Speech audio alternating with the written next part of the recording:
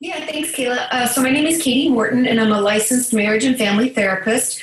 Um, I've I have a YouTube channel, so I create a lot of YouTube videos educating people about mental health, mental illness, how we can best take care of ourselves. And today I'm here to talk to you a little bit about self care, um, ways we can manage isolation because we're all feeling it. Um, yeah, because May is Mental Health Month, if you didn't know. So it's a great time to bring awareness to our mental health. And that's kind of where I actually want to start. Um, oftentimes, I think people talk about mental health and we don't even know what that means. When does it when do we need to get help? What if we are feeling really down or, or really low? Um, everybody has a mental health just like we have a physical health right? We go to the doctor we get our physicals they draw our blood or you know does your knee if you hit in the knee does your foot kick out? Like all the basic stuff. Um, we have we have to take care of our mental health in the same way.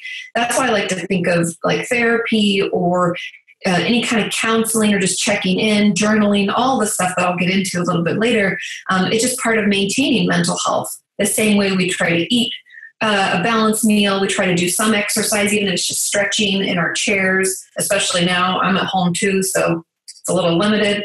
Um, but everything we do to take care of our physical health, we should do kind of a version of that to take care of our mental health. Um, and the, the, way that a mental health turns into a mental illness, just the way physical health can turn into, let's say, the flu or, or you know, the coronavirus, like that's I'm sure at front of mind for everybody, um, is when our mental health code goes from being something that we can manage, right? We might have a down day or an up day, but overall we're okay. It goes into a place where we can't function right? We just don't feel good. It's hard to get out of bed. It's we don't like the things we used to like. Um, maybe we're extra irritable and edgy. Um, that's when it kind of becomes a problem and something that we should talk to people about. I think that that's my number one tip for any of you if you're feeling down, especially now because we're all feeling it, right? Things are different. I did a video on my YouTube channel last week about like the grief of what's going on and how I feel sad about that our life may not return to what it was before, and I'm sad. And so know that it's okay to feel however you want to feel or need to feel right now, because this is something that we've never gone through before. Even as a clinician, it's not something I can say, oh, I talked to a patient last month about. No, like this is all new. This is new to everybody. We're just learning as we go along. I can't pull on research from 10 years ago or anything like that. We're just, um, we're all doing our best. So know that it's okay to feel how you feel um, and just talk about it and so I want to get into some ways that we can best manage isolation because I don't know about you, but I'm not seeing a lot of people. Um, and even though I'm trying, right? Like I, I reach out, we do some FaceTimes with my mom. Um, I've done some Zoom meetings with friends, and I encourage all of you. I know that um, all of your staff have been really helpful helping you get that stuff set up. Um, I'd encourage you to try that. I'd encourage you to, you know, to make time for it and let them teach you um, because it is the main way to connect right now. But I do want to also acknowledge that it's not the same, right? It, it, we still feel disconnected. And so, even if we are trying to see our family and children and friends, we could still feel isolated. And um, I wanted to, like, I was thinking it was like a week ago, I was watching the news and there was this psychiatrist on, her name's Dr. Christine Moutier. I've had the pleasure of working with her in the past. She now heads up, I want to say it's like the National Suicide Prevention Center in New York. But she said that um, instead of calling it social distancing, we should call it physical distancing because we can still be social, we can still connect. And I think when we keep calling it like social distancing and keeping our distance from people, it can feel even more isolating. So I just like to reframe it like that. It's just, you know, um, we're just physically distant. I can still feel connected to you. I can still spend time with you. I can still do all the things, um, you know, that feel good. So anyway, she said that, and I thought, oh, I just like that. Like sometimes a simple change of a word can change your perception, right? Um, and my first tip to dealing with uh, isolation is really to start small. I think a lot of us feel like, or I'm just going to keep it personal. Like, I think I feel like I need to be talking to a lot of people and I should be reaching out all the time. What am I doing? I mean, things are slower now, so I should be doing so much more.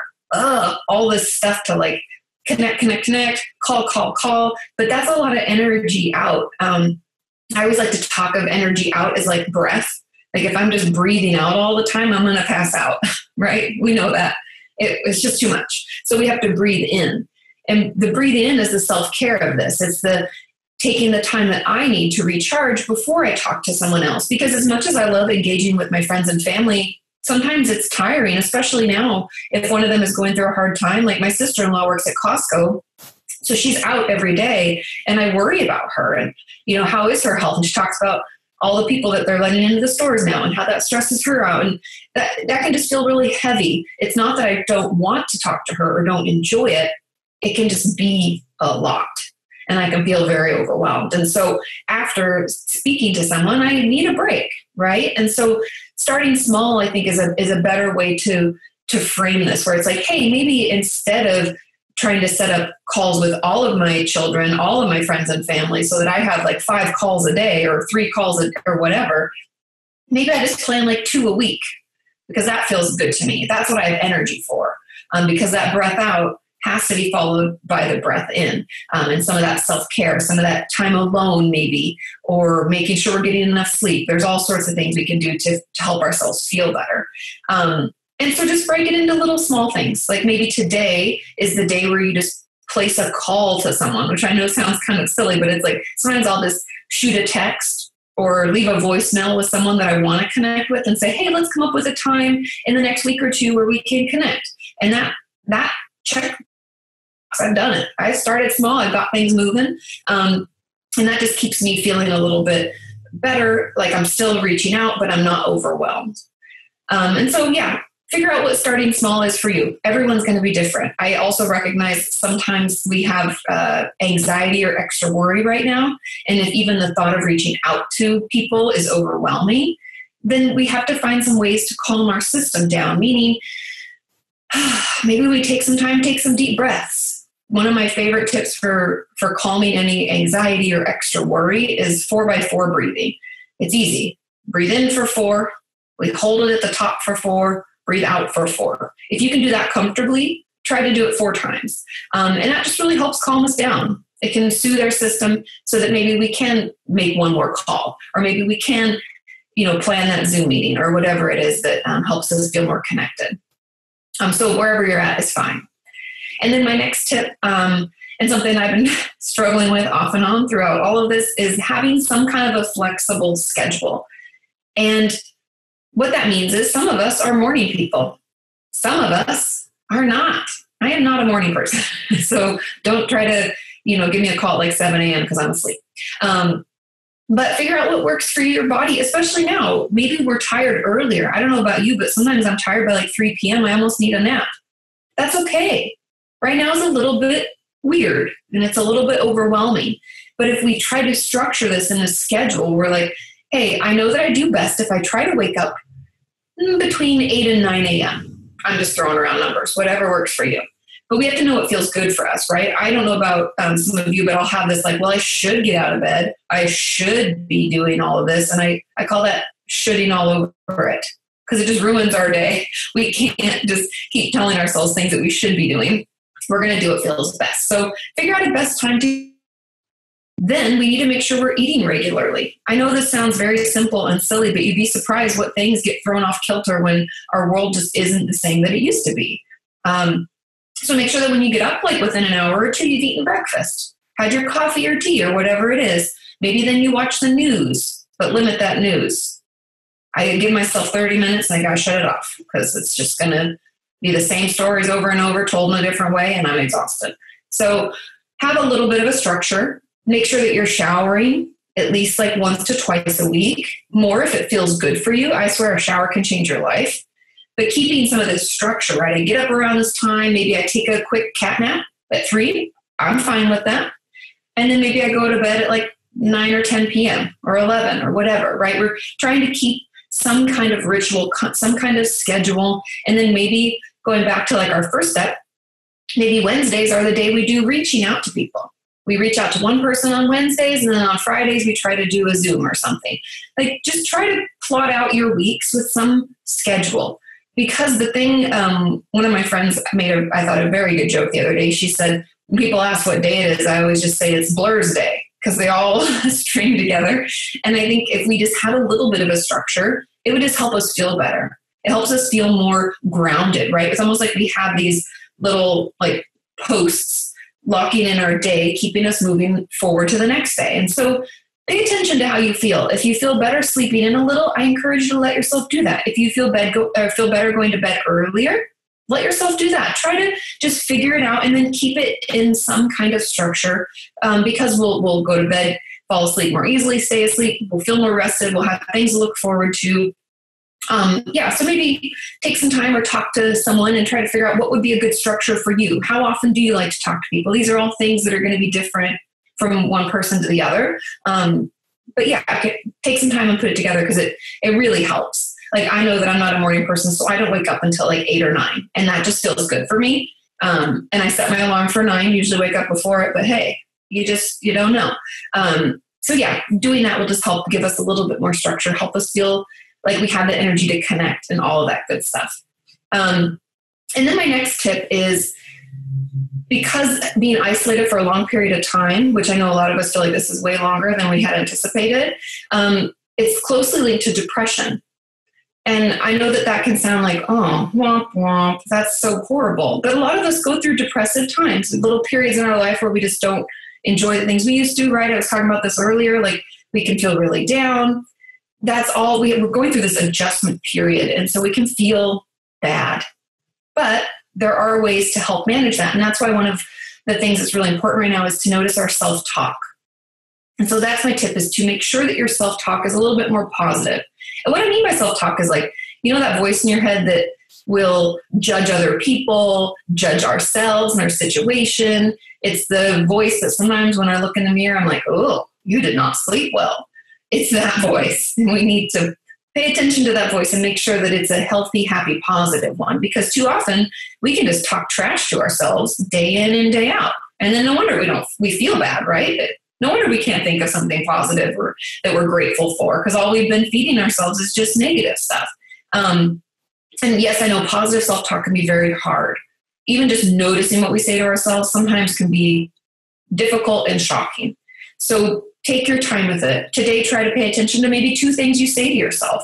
And then consider how could I make those more positive? Because maybe one of those things is like, uh, I'm so lazy, or um, I'm so stupid sometimes, I'm so forgetful.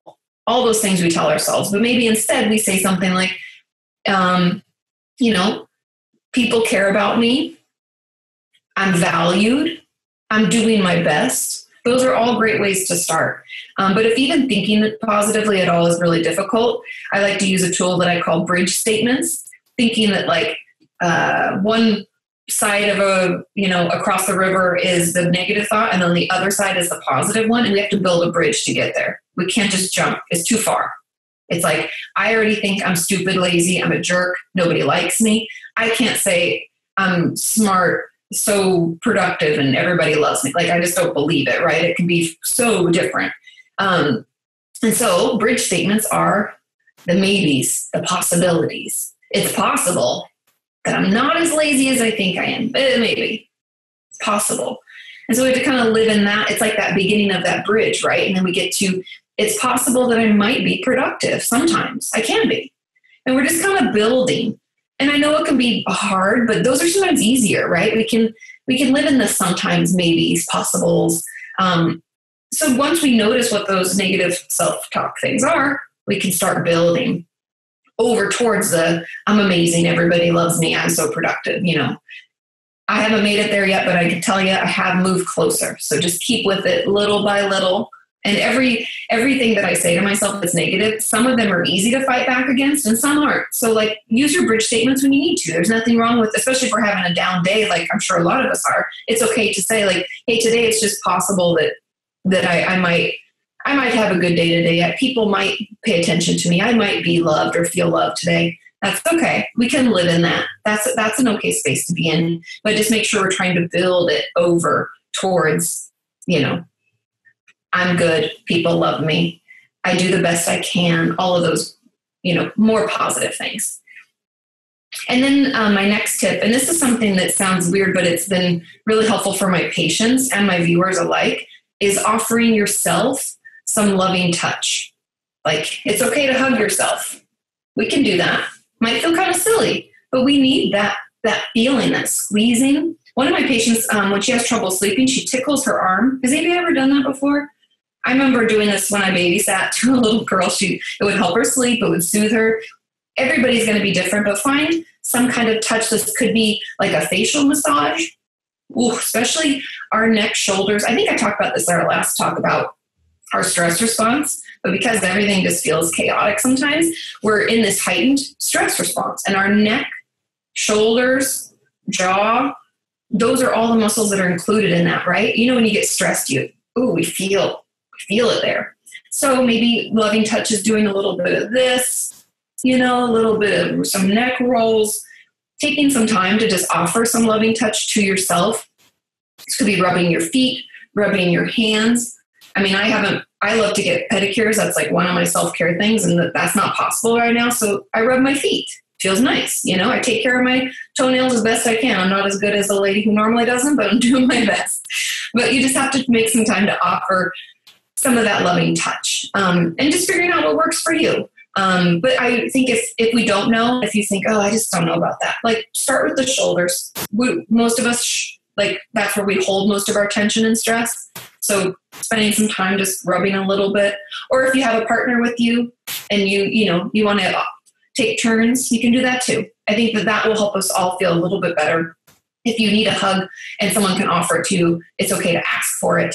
Um, we're all just kind of needing some of that soothing that we normally get from, you know, you go out to breakfast or lunch with friends and you, oh, hi, so good to see you. We're just not getting that now. And so we have to find another way to kind of fill that, uh, that need.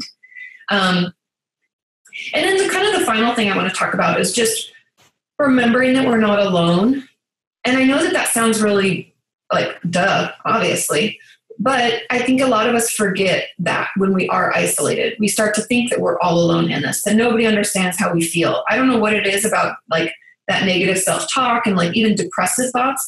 They're very isolating. They try to tell us that nobody understands, that we're being weird, that something about us is wrong because we feel this way. Like I, I know personally, I'm definitely more of a sensitive person, which I think makes me a better therapist. But some of my friends are are not responding to this situation like me. And i could take that in my head and think well geez Kati like get it together. Like you're a therapist. What's going on you know? But instead i'm just doing the best i can. Everybody's feeling their own way about this. We're all going through it. And that can in and of itself be kind of just nice. It feels like a little bit of like we all have some self-compassion and compassion for our neighbors, and community.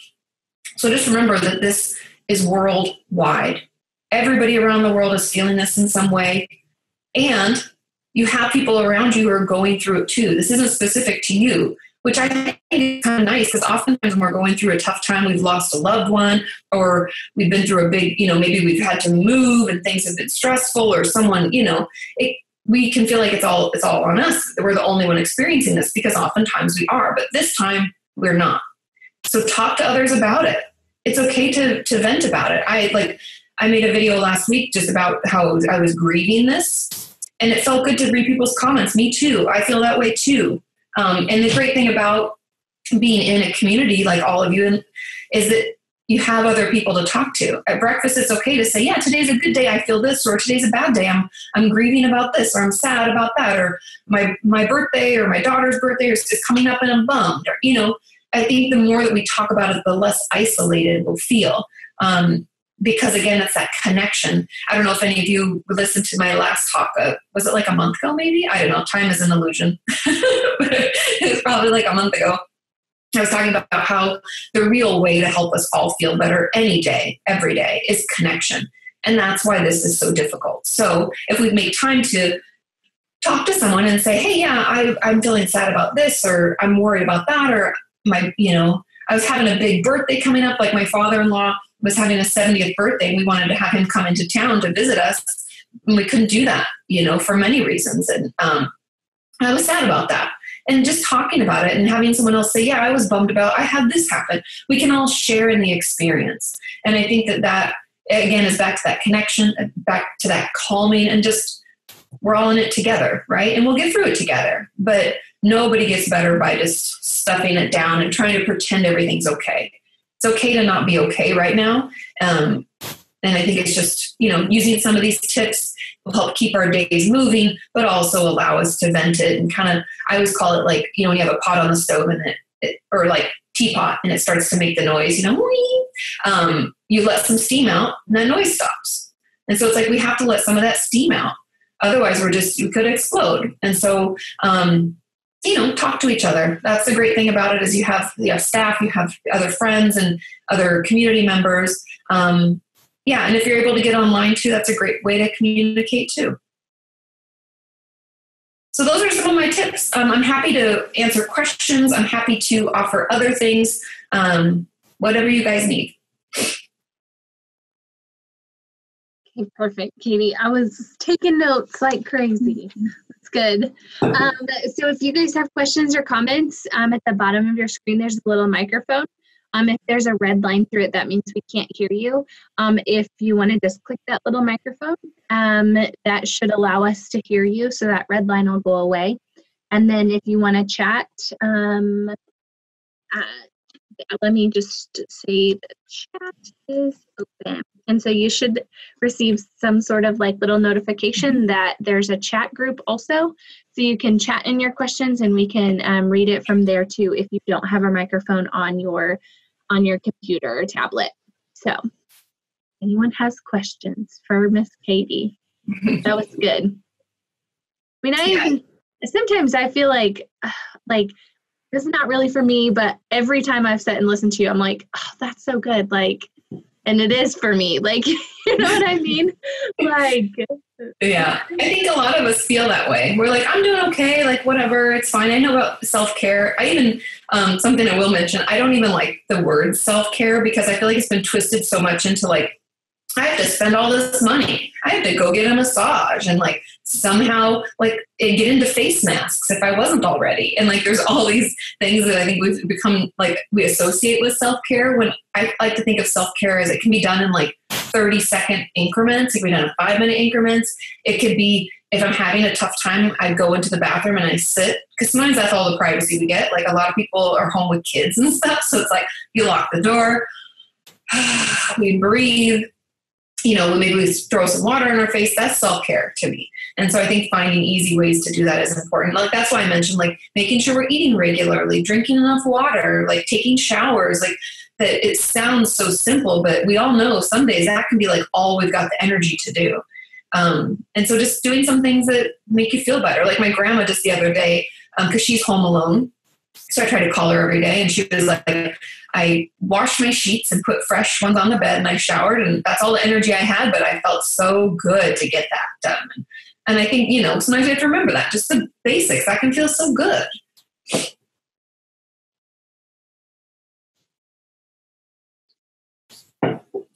I think too, um, like there's a like a feeling of when you like take a breath inside, but then like when you do like that four by four breathing outside, like just that mm-hmm. fresh air of just like ah, oh, just feels so good in your lungs. Like I don't like my house is not cool or not hot. Like it just I don't know normal yeah. degrees. Yeah, know, just something. Can you hear me now?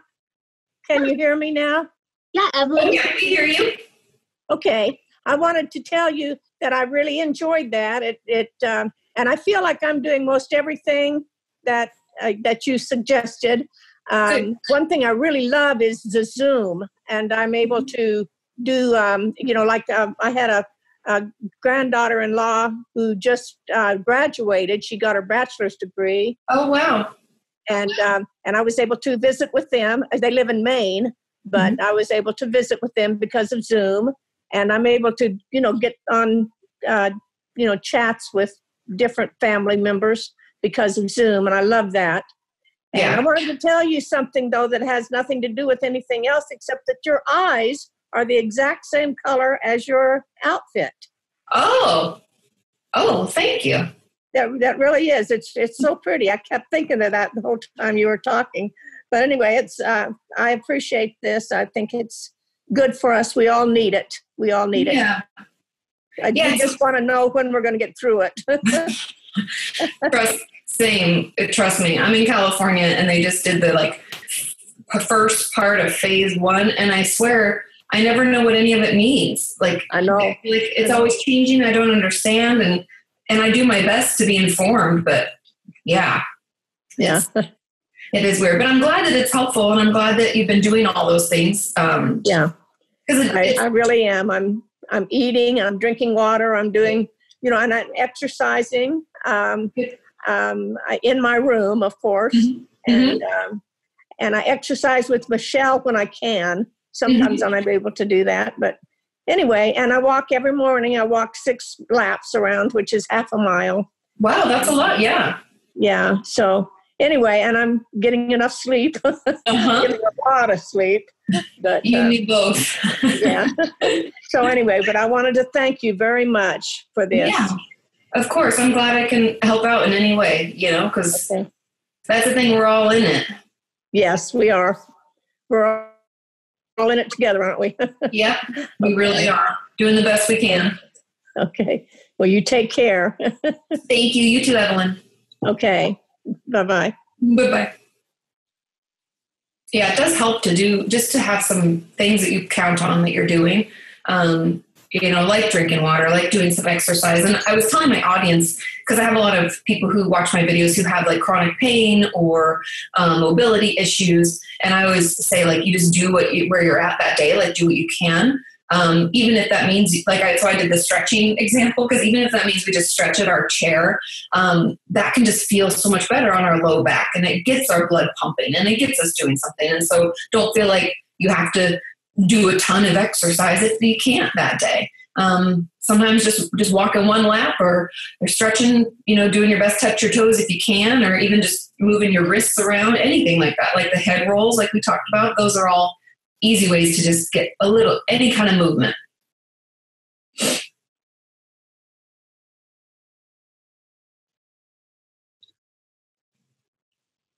Anybody else have any comments?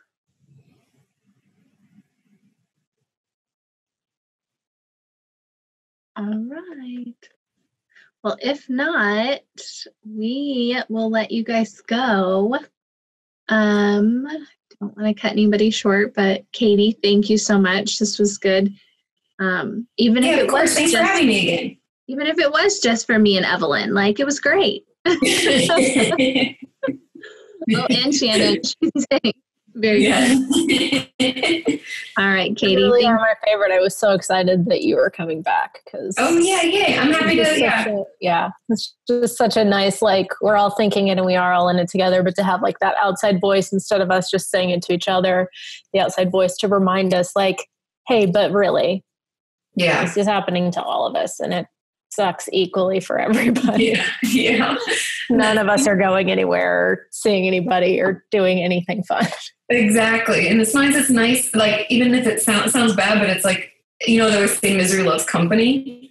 In a way, it's like we at least like to know that we're not the only ones going through this. Like no one's out like having a fun lunch with friends right now. You know, it's not happening, and um, and it's a bummer. But we'll we're all in it. We're all feeling some kind of suck right now. We're all learning all Yeah. kinds of new ways to connect and Yeah. create. exactly. So things we never would have done because why would we think about it any other time? Yeah, no, it's true. It's a, it's sometimes a much needed and nice pause to be like, okay, what do I really want to put energy into? Who do I want to connect with? Um, all of that has, has been kind of interesting for me just to allow myself to like think about that versus what we usually do, which is like push through, rush through, you know, do things so quickly without thinking. Um, now we can take some time and thought, you know, think about it. Oh, and I do want to offer to, I mentioned it briefly to everybody, but journaling has been helping me. Um, and when I say journal, I don't mean like, because I, trust me, I grew up, I kept a diary when I was little, which is hilarious to read these days, but um, I don't mean like, dear diary, today I went, you can do that if that's helpful for you, but something that a lot of my viewers um, and patients alike have enjoyed is what's called like a five minute journal. Um, and what that essentially, you can purchase them online if you want, if you prefer to have it like that. But in reality, if you have any kind of paper, you can just write like, um, you know, the date, because it's kind of fun to go back and look and see how you've progressed and gotten better at certain things. You can write two things you're grateful for, three things that happened that day that were important to you, and uh, one thing you hope for tomorrow. And it just takes a little, you know, it's pretty quick. You can pop through it. Um, the goal that's why it's five minutes. It's like you don't have to sit down for 30 or an hour and try to think of all the stuff to write. Um, that can be helpful too, especially for me. It just helps me get it out of my head, so I'm not like I don't know, and it turns it more positive, right? Because it's all about like what am I looking forward to, what am I grateful for. Um, yeah, it's been really helpful during this time. So if that's something that you'd want to give a try, that that could help too, and um, easy to do right before bed or even first thing in the morning if you want to do it that way, where it's like things that I'm, you know, it still works in the same way. Whatever is easy for you. And having those limits makes it feel less stressful than like you have to sit down and Mm-hmm. come up with all these things to write forever. Totally. What do I write about? I can't tell you how many times people are like, you talk about journaling, but like, what do I say in there? and I'm like, you can say whatever, but that's the problem is it's too broad. Sometimes we just need, that's why bullet journals is another, if you want to like uh, Google bullet journals, it's similar. It's very sm- short snippets of your day and stuff like that. Um, but I really like the gratitude focus and like things you're looking forward to. Um, just keeps our brain in a more positive space. Kind of talking about those positive self talk and those bridges. I think that's all part of it.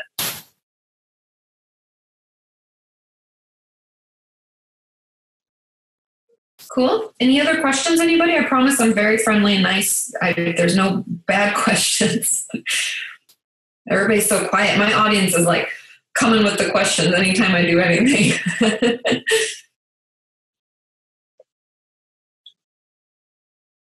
I don't think so. All right, Miss Kati, thank you so much. This was yeah, great. thanks for having me. Yes. You all take care of yourselves. Good to see your faces. All right, guys. Bye. Bye, Thanks. Kati. Thanks. Bye. Mhm.